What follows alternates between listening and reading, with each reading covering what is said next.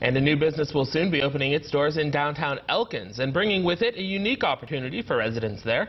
The Common Door is a space for individuals and businesses to grow and develop. The building will allow those who work remotely access to conference rooms, Wi-Fi, 24-7 office access, amenities, and more, and a change from the traditional private office space.